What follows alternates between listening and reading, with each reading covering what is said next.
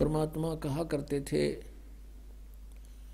मोती मुक्ता दर्शत नाही, ये जग है सब अंधरे।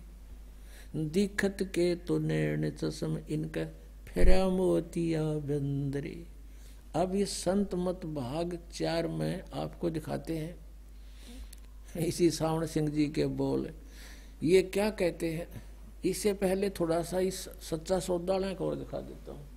आपको दिखाते हैं एक पुस्तक है सचखंड की सड़क। नाम तो ऐसा बढ़िया लिख देंगे, जो आदमी कटका मर जाए, इनके ऊपर वह कमाल कर रखा होगा इस पुस्तक में। सचखंड की सड़क, कति यानी मेटल रोड, सीधी कति कोई दिक्कत नहीं उसमें। ऐसा नाम तो ऐसा लिख दिया, इवन की दिखावा मेटल रोड की खड्डे नरे। अब ये एक पुस्तक है सचखंड की सड़क, पहला भाग। इसके राइटर हैं दासन दास, हजूर महाराज सतनाम सिंह जी, डेरा सच्चा सौदा, सिरसा। ये नाम भी सतनाम धरे अपना, सतनाम सिंह। अब ये सतनाम जी थे जो सच्चा सौदा के जो प्रवर्तक माने जाते हैं, वो श्री बिलोचिस्तानी शाह मस्ताना के खेमामल सिंह जी के सीधे उत्तराधिकारी थे, दूसरे। यानी पहले वो थे, दूसरे। उसने ये लिखा है, ये पुस्तक। सतनाम सिंह जी ने। ये देखना कहाँ से है। धन धन सतगुरु तेरा ही आसरा और सचखंड की सड़क, पहला भाग। ये वही है महाराज जी सतनाम सिंह जी की तरफ़ से ये को। और ये कहाँ से छपया है। ये प्रकाशक है इंद्र सेन प्रबंधक, डेरा सच्चा सौदा, सिरसा, हरियाणा, भारत। मुद्रक है इंद्र सेन प्रबंधक परमार्थ उपदेश प्रिंटिंग प्रेस डेरा सच्चा सौदा, सतनाम सिंह जी मार्ग, सिरसा, हरियाणा पिन कोड इतनी। इसके दो से छब्बीस पृष्ठ पर हम ले चलते हैं आपको। ये है दो सौ छब्बीस पृष्ठ। सचखंड की सड़क। इसका अनुवाद किया है एक शब्द है, इनका अलख नामी आया रे, सारे देश छोड़ के, जी छोड़ के। मैं आया तेरे लिए प्यारे, देश छोड़ के। ये कहते हैं शिवदयाल जी की अमरवाणी है यहाँ। इसका यहाँ अनुवाद कर रहे हैं। अलक अनामी आया सारे देश छोड़ के, जी छोड़ के। मैं आया रे तेरे लिए प्यारे देश छोड़ के। त्रिलोक की यानी सथूल, सूक्ष्म और कारण तक की सारी रचना काल निरंजन ने की है। संतों का देश सचखंड या सतलोक है। देख, ठीक है? अब यहाँ संतों का देश सचखंड या सतलोक है। ठीक है। और वही सतपुरुष या आदि पुरुष का स्थान है। ठीक है। इस सचखंड के ऊपर यानी सतलोक के ऊपर है या डिफाइन कर रहे हैं? वह अजर अमर अविनाशी है और सदा एक रस है। वहाँ चैतन्यता ही चैतन्यता है। प्रकाश ही प्रकाश है। नीचे पिंड तक की कुल रचना का आदि और अंत वही है। और उसी को, यानी सचखंड को, इस सतलोक को क्या कहते हैं? सतलोक को सतनाम भी कहते हैं। सत शब्द भी और सार शब्द भी कहा जाता है। वह बोली है नो कि नो? थोड़ी सी फेर बदल कर रहे हैं। इस सचखंड को, सतलोक को, जो वह अजरम और अविनाशी है, वहाँ चैतन्यता ही चैतन्यता है, प्रकाश ही प्रकाश है, और कुछ नहीं वहाँ पे। और उसी को सतनाम भी कहते हैं, सचखंड को, और सत शब्द भी कहते हैं, और सार शब्द भी। उस सतलोक को कहते हैं, सतनाम भी उसी को कहते हैं। अपने आत्माओं, ये है इनका ज्ञान जो वेदों से भी ऊपर का है। और और दिखाते हैं, एक कथा सुना रखी है सावन सिंह जी ने, कि एक समय एक इंद्रमती नाम की रानी थी, और वो कबीर साहब की शिष्या होगी। और फिर ये क्या बताते हैं कि पहले कबीर साहब चले गए सचखंड में और वो समा गए भगवान में, क्योंकि वहाँ तो नूर ही नूर है, प्रकाश ही प्रकाश है। आत्मा वहाँ जाकर ऐसे मिल जाती है जैसे बूंद समुद्र में। भगवान नहीं है वहाँ पर। ये इनका अज्ञान सिद्धांत है, राधा स्वामी पंथ, धन धन सदगुरु पंथ और यो जय गुरुदेव पंथ का। अब इनका डिस्कशन दिखाता हूँ। आप देखना, हैरान रह जाओगे। ये है संत मत प्रकाश, सावन सिंह जी के सत्संगों का, वचनों का संग्रह है ये। ये राधा स्वामी व्यास से प्रकाशित है। और इनके तो कति वचन अमिट हैं, आपको दिखाते हैं। एक सौ नवासी पृष्ठ पर ले चलते हैं आपको। ये देखो। संत मत भाग चार और पृष्ठ एक सौ नवासी नीचे आते हैं। इस तरह रानी इंदुमती थी। जब उसको कबीर साहब सचखंड लेकर गए तो उसने वहाँ जाकर देखा कि कबीर साहब ही सतपुरुष है और कहती है कि हाय हाय हाय हाय, अगर आप मुझे इतना बता देते कि मैं ही सत्य पुरुष हूँ तो क्या मैं आपकी सेवा नहीं करती। कहते हैं, तुझे विश्वास नहीं आता। अब तू यहाँ आ गई है। तेरी मर्ज़ी, कह ले। तेरी मर्ज़ी है, कह ले। अब इनका ये आप कह रहे हैं कि इंद्रमती ने सतलोक में जाकर कबीर साहब को देखा। उसने वहाँ जाकर देखा, कबीर साहब ही सतपुरुष हैं। फिर थारे वाला की गया परम धनी जब आप लिख रहे हो, कबीर साहब सतपुरुष हैं और वह इंद्रमती का उदाहरण दे रहे हैं, तुम्हारा परम धनी क्या होगा वहाँ पर फिर? और फिर दूसरा वो कहा रहा? जब वहाँ कबीर साहब मिल गए जाके। अब आपको एक और दिखाते हैं, दो सौ चौसठ पृष्ठ पे ये देखिएगा। इसी संत मत भाग चार में और दो सौ चौसठ पृष्ठ पे अब देखिए यहाँ पर, आह सत्संगी ने पूछा, हजूर, संतों की पदवी कहाँ तक है? महाराज जी सावन सिंह जी बोले, हमारी इतनी बुद्धि और अकल नहीं कि हम संतों की पदवी को समझ सकें। फिर भी सुनो, रानी इंदुमती कबीर साहब के समय में हुई थी। इनकी अकल पर पर्दा पड़ रहा। इंद्रमती तो हुई द्वापर में, कबीर साहब हुए कलयुग में। उस समय कबीर साहब करुणा में नाम से आए हुए थे। कबीर साहब समकालीन, इस कबीर एज ए कबीर समकालीन नहीं थे। फिर भी हम इनकी इतनी बुद्धि को देखेंगे, कहाँ काम करती है? रानी इंदुमती कबीर साहब के समय में हुई थी। पहले कबीर साहब मालिक में जाविलीन हुए। देखिए अपनी सिद्धांत को फिट रखे हैं कि पहले तो कबीर साहब जाकर मिल गए। सचखंड में डूब कर मर गए इनके कहने के हिसाब से कि वहाँ प्रकाश ही प्रकाश है, आत्मा ऐसे मिल जाती है जैसे बूंद समुद्र में। पहले कबीर साहब मालिक में जाकर विलीन हुए, वो तो मिल गए उसमें। और फिर रानी हुई, फिर रानी जाकर उसमें डूब का मर गई और जब रानी ने सचखंड में जाकर कबीर साहब की पदवी देखी तो कहने लगी, महाराज, यदि आप पहले ही बता देते कि मैं ही अकाल पुरुष हूँ, मैं सतपुरुष हूँ तो मैं भजन सुमन कर कर के व्यर्थ परेशान ना होती। कबीर साहब ने उत्तर दिया, तुमको उस समय विश्वास नहीं आना था। अरे भले आदमी, या तो ये साची लिख रहे, कबीर साहब अकाल पुरुष है, लेकिन जब पहले कबीर साहब जाकर मालिक में विलीन हो गए और पाछे रानी होगी, फिर वो बात कब करी उनने?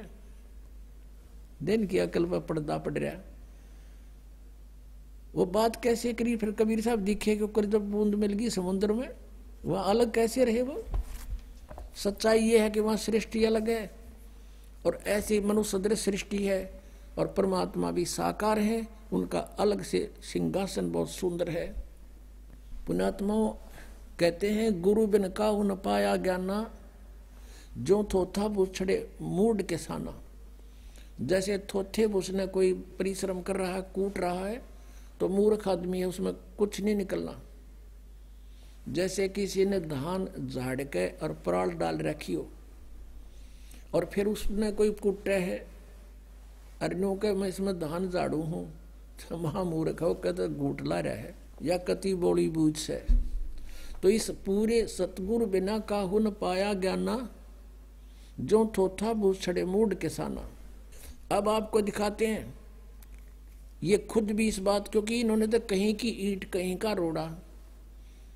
हरियू राधा स्वामी बड्डा कुणबा जोड़िया? इनको आप नहीं मालूम तुम लिख के रहे हो? और कौन सी वे ऑफ़ वर्शिप है परमात्मा के पाने की? ये इनका सतनाम में समझ में नहीं आ रहा सतनाम क्या? उन पाँच नामों में सतनाम भी दे रखा। ये पाँच नाम देते हैं। ओंकार रंकार ज्योत निरंजन सोहम और सतनाम। सतनाम ने जपण का भी दे रखा है। और सतनाम फिर बोला सचखंड भी यही है सतपुरुष भी यही है, है? और सार नाम भी यही सतनाम भी यही है और सार शब्द भी यही है। जैसे किसी ने जंगल में रहता हो कदे कार देखी ना सुनी सुनी हो सड़क भी सुन रखी हो पेट्रोल भी सुन रखा हो उसे कोई पूछे भी तू कार में जाता है, कार देखी है तूने? बता कार कैसी होती है, पेट्रोल किसे कहते हैं? तो वो कहे कि, पेट्रोल कार को ही कहते हैं, सड़क किसे कहते हैं, कार को ही कहते हैं। अरे, शहर किसे कहते हैं, कार को ही शहर कहते हैं। ड्राइवर किसे कहते हैं, कार को ही ड्राइवर कहते हैं? वाह, अरे, इंजीनियर तो इसे थे ये, महाराज, इसे थे ये सचखंड के संदेश देने वाले। इन कह कह का भी नहीं पता सचखंड के बारे में। कहते हैं, बेखों के लश्कर फिर, ये वाणी चोर कठोर, परमात्मा की वाणी चुरा के न सचखंड, अर्धी की गांठ पर पंसारी बन गए। और सतगुर धाम ना पहुँचेंगे, ये चौरासी के ढोर। यहाँ तक कहा है कि सतलोक में नहीं जा सकते ये लोग, क्योंकि इनका साधना है, गलत है। एक पुस्तक है, घट रामायण। आपने श्री शिवदाल जी की जीवनी में थोड़ा सा पढ़ा कि इनके घर पे गुरु ग्रंथ साहिब का पाठ होता था और तुलसीदास हाथरस वाले के शिष्य थे इनके माता पिता अब घर में कोई चर्चा चल रहा है तो बच्चे भी तो सुनते हैं, जब पाठ हो रहा है, सत्संग होता है तो इसको किसी ने फिर मिसगाइड कर दिया और उससे भी न्यारा उसने पाँचों नाम शुरू कर दिए। अब ये क्या लिख रखा गटरायण में? पाँचों नाम काल के जानो। ये देखिएगा। ये है गट रामायण तुलसी साहेब हाथरस वाले की। बेल्डियर प्रिंटिंग प्रेस इलाहाबाद से ये छपी है। ये दो भागों में है, हम प्रथम भाग दिखा रहे हैं आपको। अब ये सत्ताईस पृष्ठ पर देखिएगा। अब यहाँ से शुरू करते हैं भेद, पिंड और ब्रह्मांड का।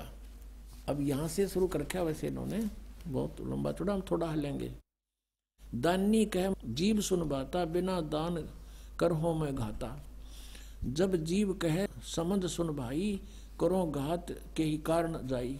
अंतर गुफा तहा चल जाऊँ ता साहिब के दर्शन पाऊँ। पाँचों नाम जीव जब भाख्या, और छठा नाम गुप्त कर रख्या। पाँचों नाम काल के जानो, तब दानी मन शंका आनो।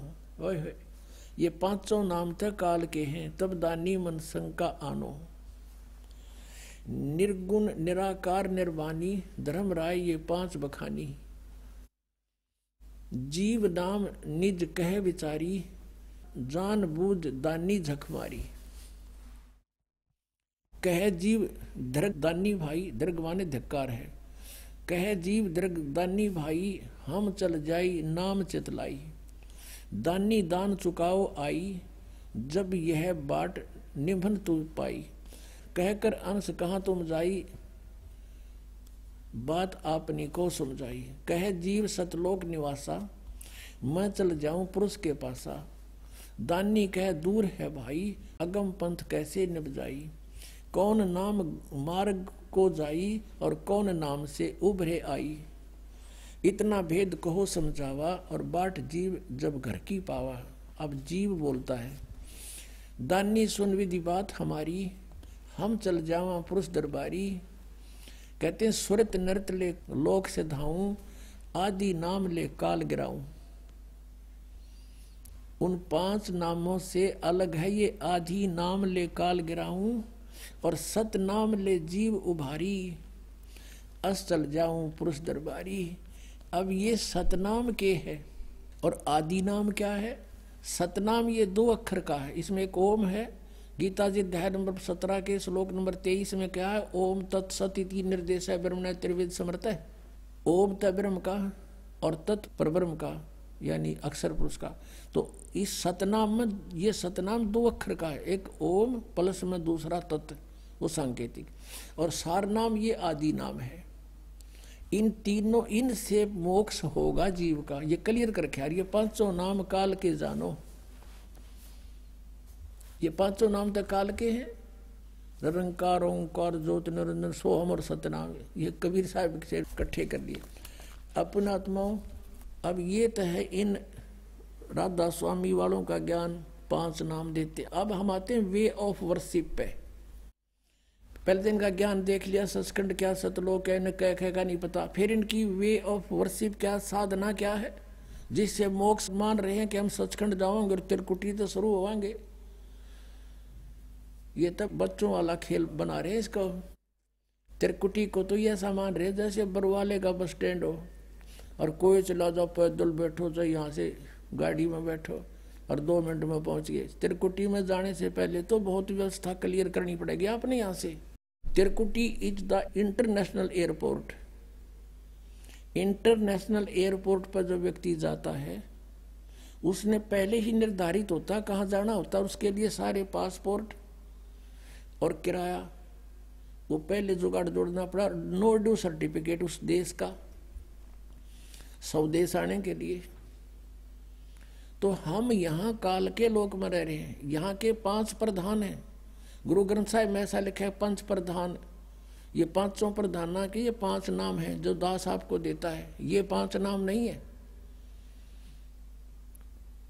जो ये राधा स्वामी वाले देते, वो पाँच नाम अलग हैं, ये पाँच नाम। ये कमलों के हैं जो आपको दिए जाते हैं प्रथम मंत्र में। तो अब हमने इनकी वे ऑफ़ वर्शिप देखनी है कि पूजा करते हैं और वास्तविक वे ऑफ़ वर्शिप कौन सी है? रियल यानी सच्ची साधना कौन सी है? और किन किन महापुरुषों ने करी जिनको हम मोक्ष प्राप्त मानते हैं? आप पर बात खत्म हो जाएगी, आप पर निर्णय हो जाएगा। अब देखिएगा। संत मत भाग चार ये है अजूर सावण सिंह जी के सत्संगों का संग्रह। और ये कहाँ से छपी है, ये आपको दिखाई दी थी। संत मत प्रकाश बागचार। महाराज सावन सिंह जी, प्रकाशक ये सेवा सिंह सेक्रेटरी राधा स्वामी सत्संग व्यास डेरा बाबा जयमल सिंह, जिला अमृतसर। मुद्रक हैं Sartaj printing press, Tanda road, Joshi state Jalandhar से। अब हम इसके दो सौ इकसठ पृष्ठ पर आते हैं। कमाल कर रखा है मेरे ये है दो सौ इकसठ पृष्ठ, और ये है संत मत प्रकाश भाग चार यहाँ से पढ़ते हैं। देखिए। अक्सर रूप निखरती चाली छोड़ दिया अब देश बिगाना। अब इस वाणी को डिफाइन करने लगे सावण सिंह जी। यह संसार सर है, जो अक्सर है वह ब्रह्म है। इन्होंने गीता जी का पढ़ दिया कि तो सत्रवा श्लोक गलती से कभी। यह संसार सर है और अक्सर है, वह वह ब्रह्म है और नी अक्सर पार ब्रह्म है। और जब यह संसार बना है, हम इस महल दुनिया में गुजारा करते आ रहे हैं। किंतु अब गुरु की कृपा से आत्मा इस महल को छोड़कर सतलोक को जा रही है। गुरु ग्रंथ साहिब में बड़े गहरे गुप्त रहस्य हैं। एक स्थान पर आता है कि बावन अक्षर लोक तरह सब कुछ इनके माही, ये अक्षर खिर जाएँगे, वो अक्षर इन में नाही। गुरु ग्रंथ साहिब के इस पृष्ठ पे आगे क्या लिखा है? कि सोई गुरु पूरा कहावे, दो अक्षर का भेद बतावे। एक छुड़ावे, एक लखावे तो प्राणी निज घर को पावे। फिर कहते हैं जे तू पढ़ा पंडित, बिन दुई अक्षर दुई नावा। प्रणवत नानक एक लंगाए जे कर सच समावा। गुरु ग्रंथ साहिब के प्रश्न नंबर ग्यारह सौ पर लिखा है, सोई गुरु पूरा कहावे, दो अक्षर का भेद बतावे। एक छुड़ावे, एक लखावे। तो प्राणी निज घर को पावे। ये दो अखर है ना? ये एक तो ये सतनाम है दो अखर का। इसमें एक ओम है, एक गुप्त है। वो दास बताएगा अच्छा और तीसरा जो है ना यू, जेतु पंडा पंडित बिन दो अक्षर दो नावा है। परमत नानक एक लंगाए जे कर सत समावा। अगर पंडित को कहते हैं पंडित विद्वान तो इन दो अक्षर के बिना सारे वेद भी घोट रहा है ना तो तेरा पढ़ना व्यर्थ है। आगे बताया कि कबीर साहब ने भी इसका कहते हैं यदि तू गुणी हो, ज्ञानी हो तो वे अक्षर बताओ, जो वे अक्षर पार ब्रह्म है, आप उत्तर भी दे है। ये दो अक्षर ये पार ब्रह्म है, और एक अक्षर ने दुनिया बनाई, और एक ने सतलोक बनाया। नयू घाटा जोड़ा सतलोक सतलोक, सुन रखा था इन्हें। और यही कबीर साहब कहते हैं कह कबीर दुई अक्षर भाख, होएगा खसम तो लेगा राख। अब ये भी गुरु ग्रंथ साहब में वाणी है कबीर साहब की। तो इसमें स्पष्ट किया कबीर साहब ने कि दो अक्षर का नाम जाप कर भाख माने बोल, उसका जाप कर, और होएगा खसम तलेगा राख यदि इसके देने वाला अधिकारी होगा तो तेरी पल पल पर रक्षा होगी। अब आगे देखो, गुरु नानक साहब जी फिर कहते हैं एक अक्षर हरिमन वस है, नानक होत निहाल, ये आदि नाम है, सार नाम जिसको कहते हैं। और दो अक्षर का ये सतनाम है, ये दो अक्षर ये सतनाम है, ये आदि नाम है, एक अक्षर वही उसमें घटनावाण में इसका प्रमाण दो सौ इकसठ हमने पढ़ लिया, बैसठ पढ़ते हैं। एक स्थान पर फिर गुरु साहिब कहते हैं, वेद कतेब सिमरत सब शासत, इन पढ़्या मुक्त न होई। एक अक्षर जो गुरुमुख जापै, तिसकी निर्मल सोई। अब ये सही करें कि एक नाम है बस। यानी शास्त्र सूस्त्र पढ़ने कोई लाभ नहीं। एक अक्षर जो गुरुमुख जापे है वो आदि नाम के बारे में कहा। वो भी जप करना है। और ये क्या कहते हैं देखियो, इनके अनुवाद। है वह अक्षर आपके अंदर है। इस वाणी का अनुवाद करें सावण सिंह जी, गुरु नानक देव जी की। वह अक्षर आपके अंदर है। और पार पर मत जाकर मिलेगा। मरे पाछे मिलेगा, भूत बने पाछे। वह अक्षर आपके अंदर है और पार पर मत जाकर मिलेगा। यह धर्म हमारा धर्म नहीं, यह जात हमारी जात नहीं, यो देश हमारा देश नहीं। हमारा देश सचखंड है और हमारी जात सतनाम है। यह फिर घाटा जोड़ा सतनाम पे है। इबिया जात होगी इनकी सतनाम कि तो सचखंड सतनाम कि तो सतलोक सतनाम कि तो सथान सतनाम सार नाम सतपुरुष भी सतनाम है, रसली राम भी सतनाम, अरीब ने क्या हमारी जात सतनाम है।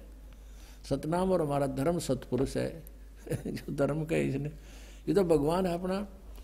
यह पराया देश छोड़कर आत्मा अपने देश को जा रही है। अब देखियो,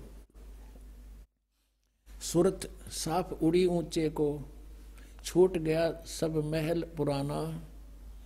अब आत्मा पुराने महल को जिसमें लाखों जन्म रही छोड़कर सतनाम में जा रही है।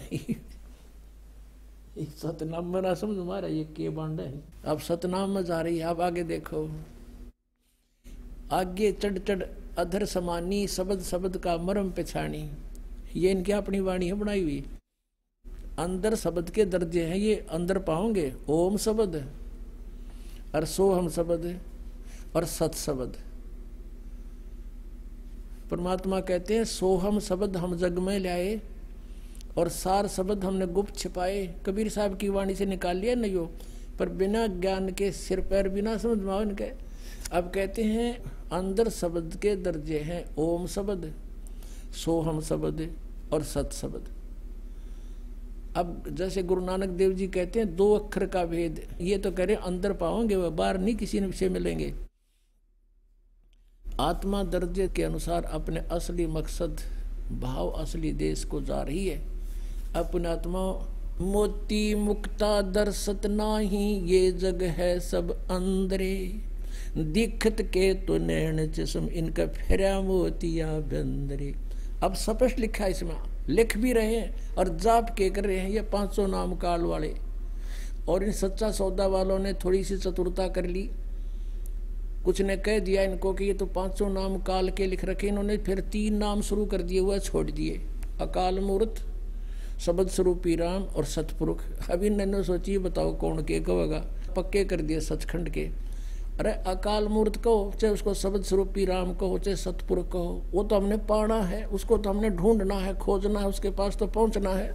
ये तो पर्यायवाची नाम है, जैसे जल, पानी, नीर, जल, पानी, नीर। अरे जल को तो खोजना है, वो कैसे मिले? जैसे नीचे ज़मीन में जल है, और उस जल को पाने की विधि है हैंडपंप ला, बोकी मारे, और बोकी मारता रहे, फिर मशीन फिट अब जैसे आपको दो अक्षर का नाम दास देता है जिसको सतनाम कहते हैं उस सतनाम से बोकी लगाई जाती है, श्वास और उस श्वास से।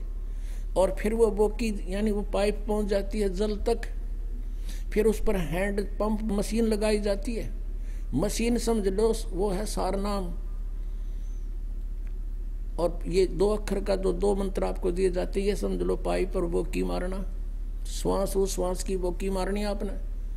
और फिर सारनाम जब आपको वो मिल जाएगा हैंड पंप का मशीन ऊपर की, फिर करो सिमरन और परमात्मा, यानी जल प्राप्त होगा। अब देखो, गुरु नानक देव जी को ये मानते हैं, मोक्ष प्राप्त हुआ। उन्होंने कौन सा मंत्र जाप किया था? ये देखिएगा, जन्म साखी भाई बाले वाली सब तो वड्डी भाई बाले वाली जन्म साखी।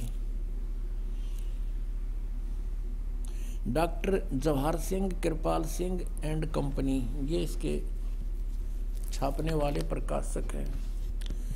ई जन्म साखी अज तक छप चुकिया नालों वड्डी है।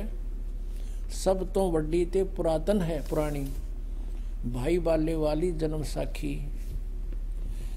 श्री गुरु नानक देव जी दी, पंजे साहिब दी साखी ते दसा पातशाह दे जीवन समेत। मुकम्मल साखियाँ हन, प्रकाशक हैं doctor Jawahar Singh, Kirpal Singh and company. पुस्तकों वाली गली नंबर आठ, और ये बाग रामानंद अमृतसर इतना। ये नोट, साड़ी कोई ब्रांच नहीं है, ये तो अपना इनका अब इसके पाँच सौ सैतालीस पृष्ठ पर हम आते हैं। ये पाँच सौ सैतालीस पन्ना है जन्म साखी का।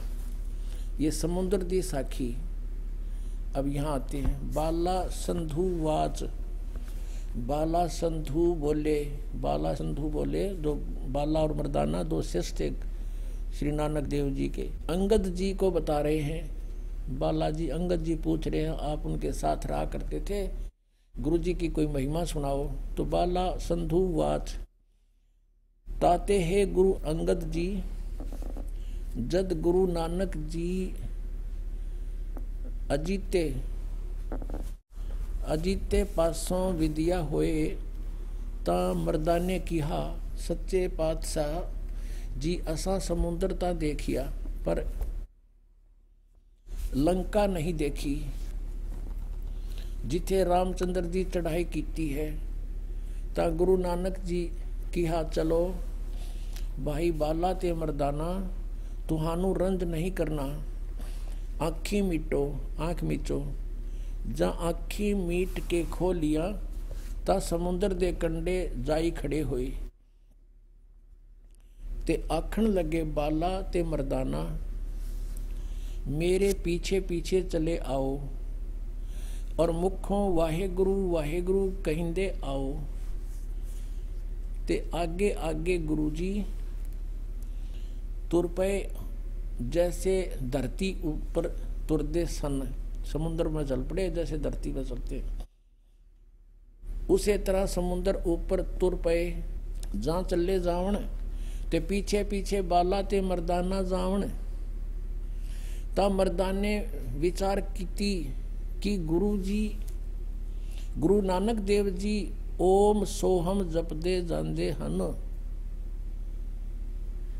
ता मरदाना भी ओम सोहम लगा जपण ते लगा गोते खावण जा गुरु नानक जी देखण ता मरदाना गोते खांदा है ता गुरु जी कहा के मरदाना तू गुरु जी दी करने वल नहीं देखना गुरु जी दे वचना पर चलना चाहिए तू मरदाना ओहे आख जे असा आख्या है ता मरदाना फेर लगा वाहे गुरु वाहे गुरु कहन, ता फिर जल ऊपर, उसे तरह तुरन लगा। पुणात्माओं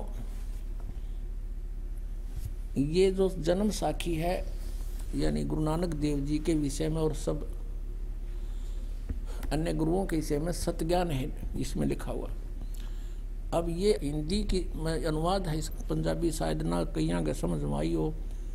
ओम सोम के लिख रखे, ना समझ माया हो। ये है बाई बाले वाली गुरु, नानक देव जी की जन्म साखी। भाई चतर सिंह, जीवन सिंह, अमृतसर से छपी है। भाई बाले वाले, गुरु नानक देव जी की जन्म साखी। पंजे साहिब और दस पातशाह का जीवन संपूर्ण साखी सही दर्ज। भाई चतर सिंह, जीवन सिंह, अमृतसर प्रकाशक है इसके। इसके पाँच सौ उनसठ पृष्ठ पे है। यह समुद्र दी साखी। एक दिन मर्दा ने कहा कि महाराज, मेरा मन चाहता है कि समुद्र में जो लंका है वहाँ का भ्रमण किया जाए। तो ऐसे ही चलते चलते। अब ये सारा ये आ गया कि आगे आगे गुरुजी ओम सोहम का जाप करते चले जा रहे थे। वो पंजाबी ना समझ में आई होती, हिंदी में ननक रखी है। और फिर मर्दाना ने सोचा, हम भी ओम सोम का जाप क्यों ना करें? जब मर्दाना भी ओम सोहम की रट लगाने लगा, तब वह लगा गोते खाने। गुरुजी पीछे पीछे तो हंस कर कहने लगे कि हे मर्दाने से इसका धर्म है कि वह गुरु के बताए मार्ग पर चले। इसलिए तू फिर वाहे गुरु जप। तेरा उसी से कल्याण है। पुणात्माओं ऐसा क्यों कहा गुरु नानक देव जी ने? स्वयं तो जाप जप रहे सतनाम का, और शिष्यों को कह रहे हैं, ये नहीं जपना। क्योंकि उनको आदेश था उस परम पिता का धर्मदास तो लाख दुहाई, ये सार नाम किते बार न जाई।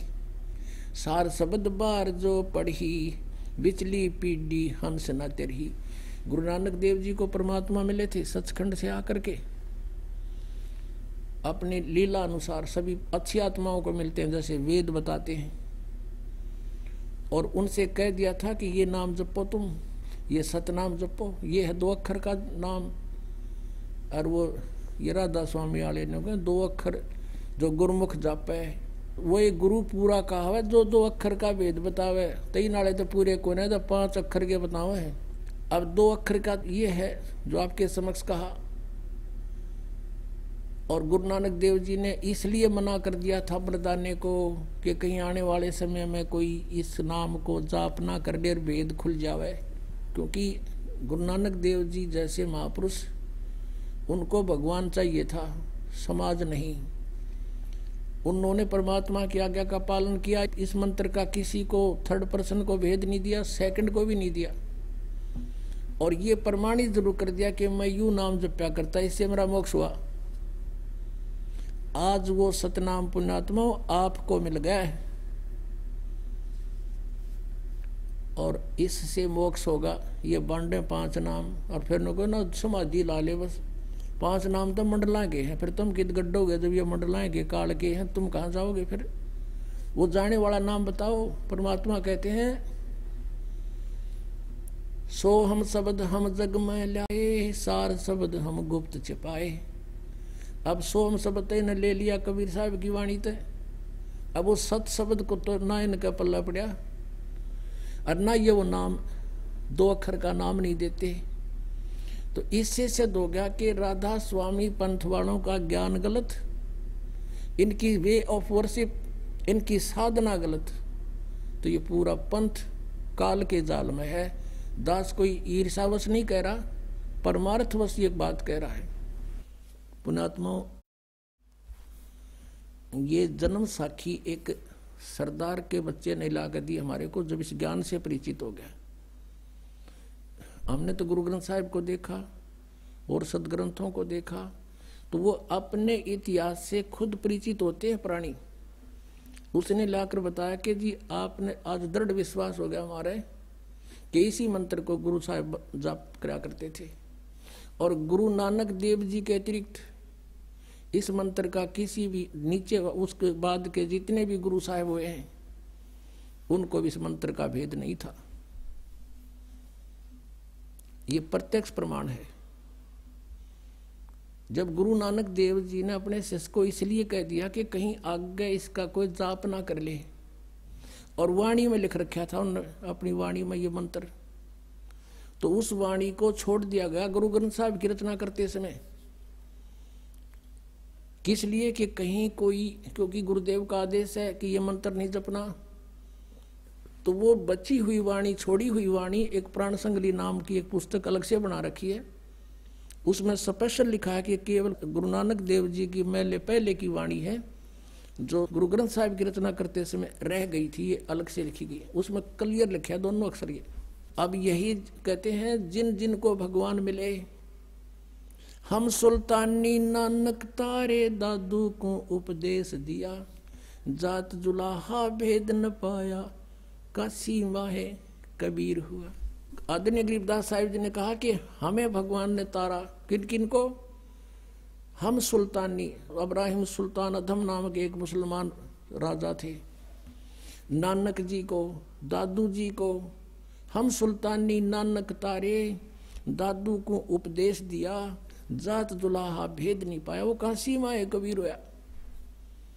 अब गरीबदास साहिब जी ने अपनी अमृतवाणी में लिखा है ओ हम सो हम पालड़ रंग होरी हो, चौदह लोक चढ़ाव राम रंग होरी हो, तीन लोक पासंग धरे रंग होरी हो तो ना तुले तुलाया राम रंग होरी हो। ये दो अक्षर का मंत्र ये तुम्हें दिया जाता कहते इसके एक श्वास की सिमरन, एक पालड़े में दर दे तराजू के एक पलड़े में और दूसरी तरफ़ ये चौदह लोक चढ़ावे चौदह लोक ये भगवान शिव का लोक विष्णु का लोक ब्रह्मा जी का लोक दुर्गा का लोक और ये नीचे के पाताल, फिर ये स्वर्ग लोक, और ये ब्रह्म लोक, धर्मराज का लोक, ये कहते हैं चौदह लोक तो रख दे उस एक मंत्र के जाप के बराबर के पलड़े में। और तीन लोक पासिंग दर है। पासिंग कौन सी होती है?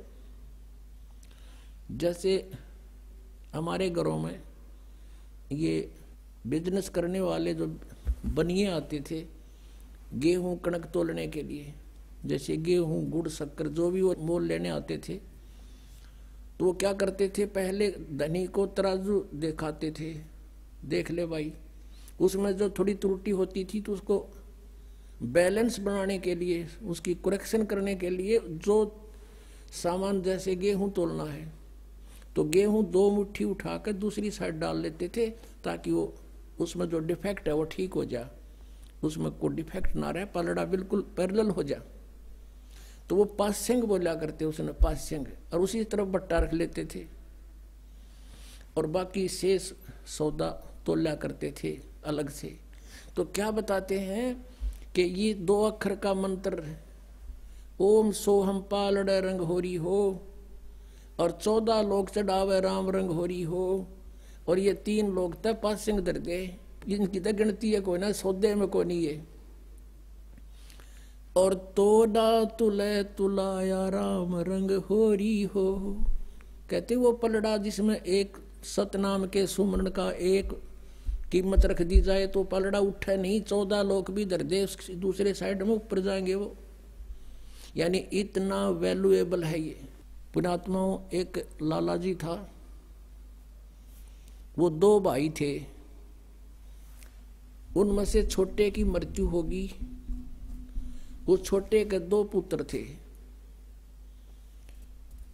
कोई अठारह वर्ष का, कोई सोलह वर्ष का। अब जब देखा पिताजी का अंतिम संस्कार हो गया, उसकी गति गति जैसे ये कराया करें सारा काम हो लिया। तब रोटियों की समस्या आई। तो उन बच्चों की माँ ने,